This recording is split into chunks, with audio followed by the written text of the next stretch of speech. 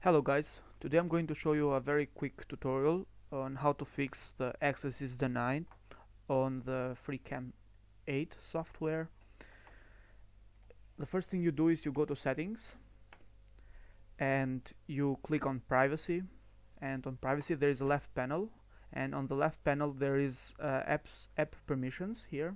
And you click on microphone. And on microphone there is a, a, spe a specific area uh, allow apps to access your microphone.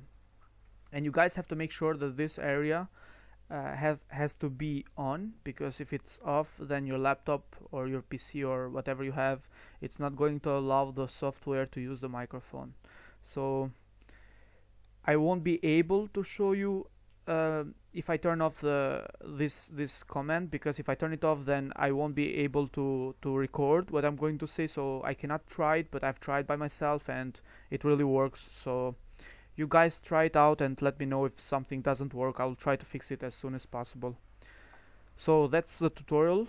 Um, thank you for watching and have a nice day